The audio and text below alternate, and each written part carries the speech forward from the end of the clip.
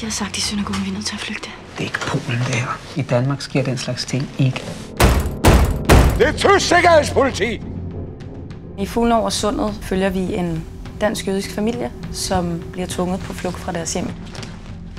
Det er en film, der dvæler ved de få døgn, hvor Danmark improviserede. Mange mennesker var parat til at risikere sit egne liv for at redde de danske jøder ud af landet. Vi skal have de to ud af hytten nu. Jeg tager dem hjem til mig. Fuglen over sundet handler om, hvordan mennesker reagerer under pres. Hvis jeg engang til hører om, at du ikke snakker folk over, fordi det ikke har nogen penge, så får du sådan en røvfuld. Det handler om overlevelse og først og fremmest om medmenneskelighed.